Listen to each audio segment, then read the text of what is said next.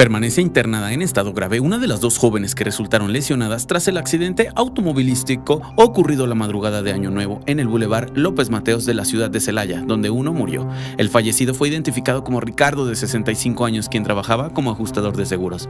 Las lesionadas son sus hijas de nombre Sofía Geraldine, de 18 años, y su hija menor de 17.